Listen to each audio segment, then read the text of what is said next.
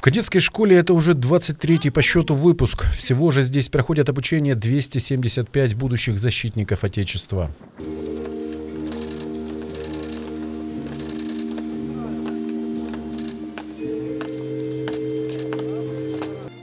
Открыла праздник торжественная церемония возложения цветов к вечному огню на школьной аллее воинской славы. Память героев сражений разных лет почтили минутой молчания, после чего, как и положено у военных, на плацу состоялась торжественная церемония.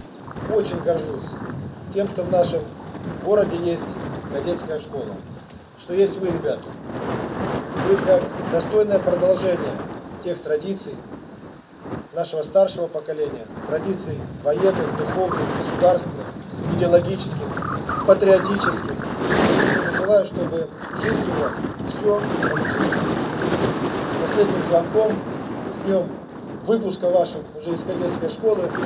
Искренне вам слова благодарности и удачи во всем. Поздравляю.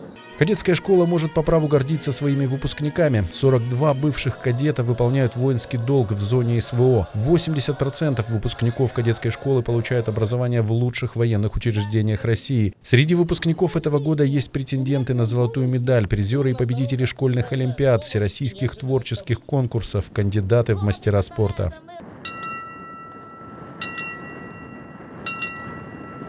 Вот и прозвенел последний звонок, и выпускники передают знамя школы тем, кому еще предстоит гордо пронести его через свою учебу. И, конечно, какой последний звонок без вальса?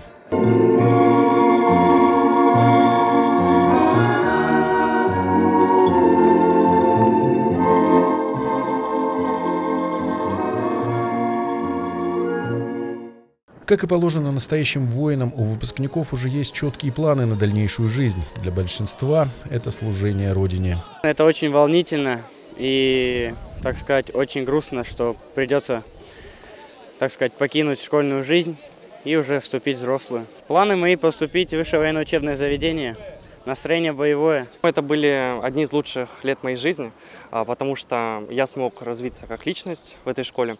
И, э, в принципе, э, покидаю школу я с грустью. И понимаю, что скоро экзамены, надеюсь сдать их с, э, с отличием и закончить школу. Прежде всего, кадетская школа заложила во мне основу лидерского качества. Это, во-первых. Во-вторых, помогло моему физическому развитию и, в принципе, основу патриотизма. Никита Бойко, Никита Васюхин, Михаил Григорьев, Анапа регион.